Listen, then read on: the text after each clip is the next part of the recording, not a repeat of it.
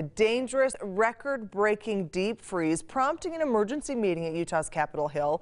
State and local leaders gathering to address homelessness in Utah and the increase in demand for housing.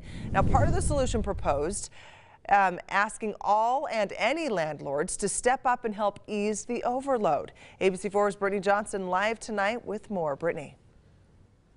That's right, Emily, and that is just one of many solutions that we heard today. We also learned that even with this overflow and people seeking shelter in these freezing temperatures, the Road Home Shelter in downtown Salt Lake City is still set to close in four weeks this winter. Lawmakers citing concerns over security, staffing, cost, and safety.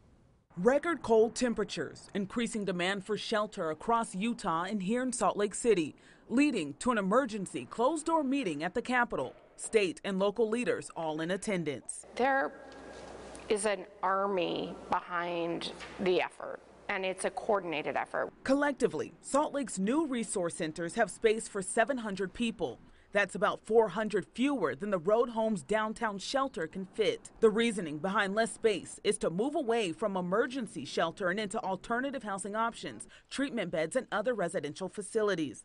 The problem Lieutenant Governor Spencer Cox says freezing temperatures and wide scope of services have kept people in the new resource centers for longer than usual. We see that actually as a positive. It's more than we expected.